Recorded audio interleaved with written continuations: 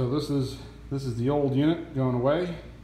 This is the high power wall connector. Uh, this is actually the second generation high power wall connector. Um, so I provided a couple of details on what's a little different than this one, or different with this one. Still goes up to an operating amperage of uh, 80 amps, uh, 240 volts. Okay, when you uh, pull everything out of the box, this is basically what you get. Um, so this appears to be the, uh, the mounting bracket. Um, this looks like the, uh, the back of the unit. Um, some screws, looks like some plugs for the different holes depending on how you wire it. Uh, the manual, um, the actual charging uh, front case, which appears to be a little deeper than the first generation um, high power wall connector. Um, but I know that they actually designed it so you can uh, put the cable over the top. Um, very heavy gauge wire, definitely compared to my little Voltec cable. So that's kind of nice. Feels rugged. Um, pretty pliable though. All right, I pulled the uh, packaging off of this just so you could get a better look at what it looks like once you pull the uh, bubble wrap off. Um, here you can actually see the, uh, the port inside where you can uh, uh, put the connector in, which is obviously a, a new feature of this. And you can actually now kind of see where the cable can be uh, kind of draped over the top. Um, I know this front cover comes off, and there's some work we have to do inside of that. So it looks very similar uh, from the front to the other one. Um, definitely deeper. Um, this might be a little bit different than the other one as well. It looks like it's shaped a little bit differently. There's a couple different options of how to install this. So there's a bottom and rear entry uh, where the cable, the power comes in either the bottom or from a wall in the back. And that uses this bracket, which connects directly to the back of the unit, charging unit. But if you want the power to come in through the top, from the top of the unit, then you actually use this bracket. Um, that's a little, a little different. I don't think the other one was like that at all. Um, so it doesn't look like I'll, I'll need this piece for, uh, for my installation. Because that'll be coming in through, um, through the back. The next step was to use the bracket to identify the location where you're going to put the screws. Um, and it says you have to have them four and a half inches apart, which is what the top and bottom holes are. Um, so you can see I'm actually. Cable's going to go through this side, uh, through that hole, and then basically aligned to this. Unfortunately, um, the cable's on the right side of this uh, stud uh, instead of the left side, which is kind of where the, the hole in the bracket is designed for. But I can't move it over because I have this ventilation pipe here um, and it won't give enough space for the cable. So I'll do with it, do it this way. So I decided that since I have to put the screws on the left side of this bracket, I am going to use a wall anchor uh, for the right side. You can see I drilled the hole here, so I'm going to use one of these wall anchors to just kind of sure up the top right side. Um, the kit comes with two screws, and you can tell that they're definitely for going into the studs. Uh, I would imagine you could use wall anchors in general uh, if you wanted to uh, to support it, but I figure two screws on the left side and the stud, and then one in the top right to kind of support the top. Uh, should keep it from moving around. You see there I used the, uh, the two from the kit on the left side and the stud and the cable through that little um, cutout in the bottom. And then I put a, another wall anchor in the top right just to, to make sure the top is extra secure since I had to use the left side holes. Um, and it's definitely on there. So the next step is to take the front cover off. You have to remove this Torx bit on the end, and then it says to use a screwdriver to gently pull it apart, so we will see how that goes. Okay, now that I have the front cover off, the next step is to um, take the other front cover, the cover that's under the metal looking piece, and this one requires these um, security torque bits to, uh, to open it up. Luckily, the kit comes with uh, comes with one of those security torque bits, so that's good because um, I don't have any of those. So take the cover off and show you what's inside. Okay, uh, took the torque bit, um, the screws off the top cover, and uh, here you have it. Here's the little uh, circuit board that uh, has the LEDs for showing the status. Here's the ribbon cable uh, that will connect to the front once I have it installed. See down here is where the power is going to come in. And I imagine that's where I'm going to plug it in. Um, but we'll see once we get there and the instructions and ground down there. One other thing to note uh, we're looking at this right now is you can actually switch this to slave mode. You can have four of these linked together, uh, so one master and three slaves. So you set the master to whatever the maximum amperage is, um, and then set the other ones to slave and connect it into uh, um, off of this one, um, and just kind of continue down the line. And uh, then it will balance the power between them so you can charge multiple Teslas at one time off of one circuit, which is kind of nice. So the next step is I'm going to have to mount this to the bracket that I put on the wall. And then I'll put these clips on to cover the, uh, the screws that are going to go in to hold it on the wall. Alright, so we'll do that now.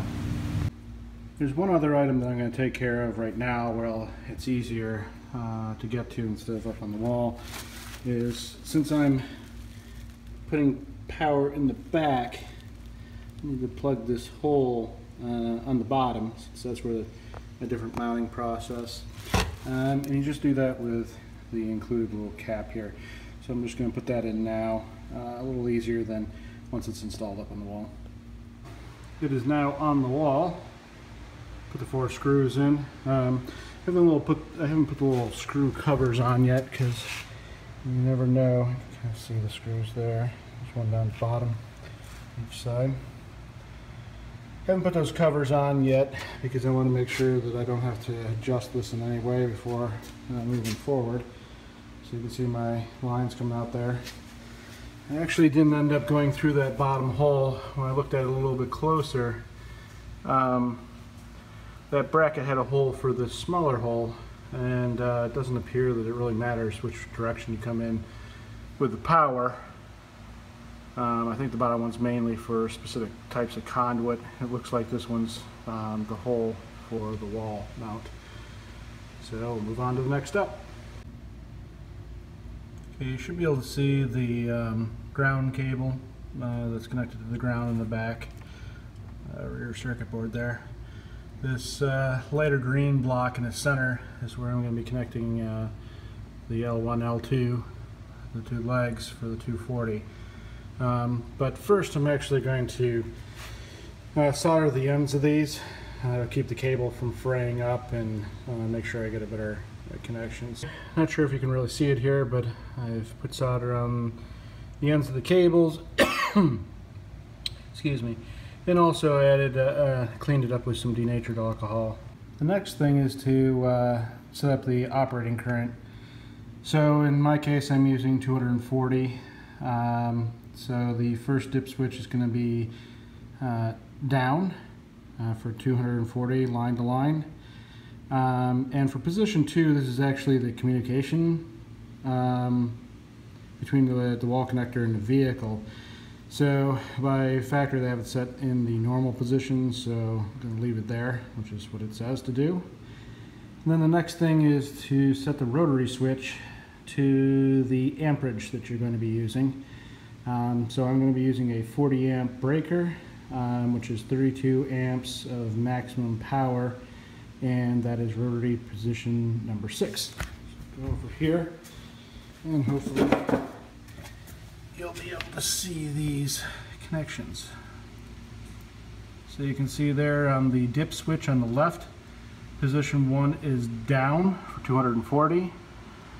Uh, position two is up, which is normal communications, uh, what it recommends. And then the rotary switch is set to six for 32 amps of maximum power. And you can see there I've got all the wiring attached now. The next step is to replace the front cover um, to seal it up. And you'll notice here again, really nice seals uh, on this unit uh, compared to other units that I've seen. Of course, um, much, much better than my Voltec one, which was basically just some tape on foam. Um, okay, so I'm going to connect this ribbon cable, which has been taped on here, and I'm going to connect that to the cover and then seal it back up. And then you'd be ready for your first power test. Uh, in my case, I have to actually change breakers, so I'll show you that next. Now with mine, see here, I've got a 20 amp breaker. And that was because I had the, uh, the Voltec charger for my Chevy Volt, um, which is 15 amp charger. So it required a 20 amp um, breaker, uh, kind of that double breaker configuration there. But uh, when they installed it, I asked them to put in the uh, 8 gauge wire so that I could run 40 amp because I knew at some point I'd probably want to upgrade and didn't want to rerun wire. So now I have to replace this breaker uh, with a 40 amp breaker. And uh, of course, when you're doing this, you want to turn the main off, which I'm about to do. And I'm not going to record because if I kill myself, I don't want to show that on YouTube. And um, also, I want to have both hands free so I can take care of all this. So hopefully in a couple of minutes, I'll show you a new breaker installed. So I figured to show a little bit more. Now the main breaker off. And just pop this out, just kind of rock it um, this direction and uh, pops right out. You can see it's got clips that it sits into and I'm going to replace that with my 40 amp breaker here in just a second. Okay, so I've got my wiring back in there. 40 amp breaker, which is turned off. Of course, the main power's off. And I'm going to try to actually show me plugging this thing back in. Kind of slides in the back here. Get the video back on there. I'm not sure if you can really see it in there. Little legs flipping there, and then this should all rotate forward. And there it is. Cable's back inside the box there. And we should be good to go. Leave the breaker off until get everything back on. Okay, I'm gonna flip the main breaker. All right, my lights came back on. I hear the air conditioner's back on.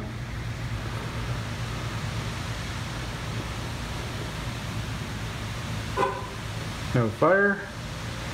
All right, gonna flip the 40 amp breaker on. Let's come over and see what we've got here.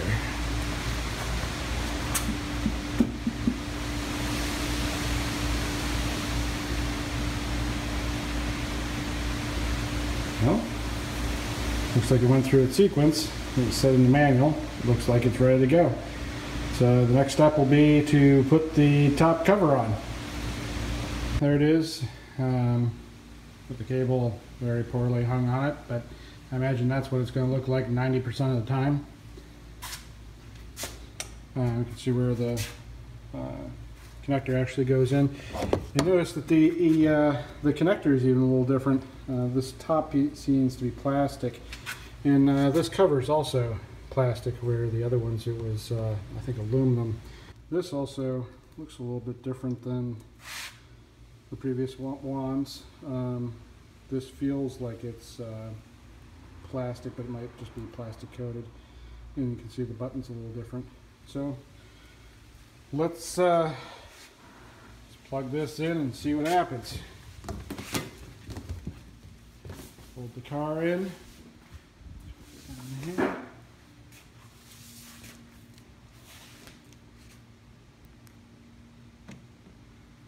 Alright, we activated that.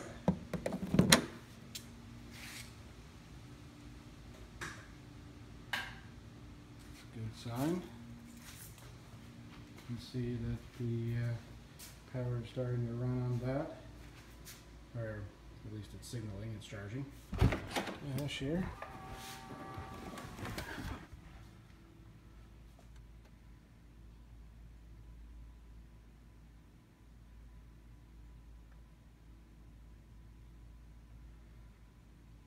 All right, 242-ish volts, 32 amps, which is what I set it to. Getting uh, mileage per hour still climbing a little bit here. Up around 20 miles an hour. Hopefully that helped some of you. Um, if you're going from a Chevy Volt to a Tesla, which I absolutely recommend. Tesla's the best car in the world, period. Um, but going from a Voltec charger to a Tesla wall charger, also another recommendation. Um, just remember that if you put in a Voltec charger, um, you know, that cabling is probably rated at 20 amps um, and not 40. So you'll have to adjust your uh, Tesla uh, high power wall connector uh, or run new cabling. Uh, if you if you ran uh, a larger cable, lower gauge, then um, then you can go up to to whatever your cable is rated at. Uh, obviously, be careful. Um, you don't want to kill yourself. All right. Good luck.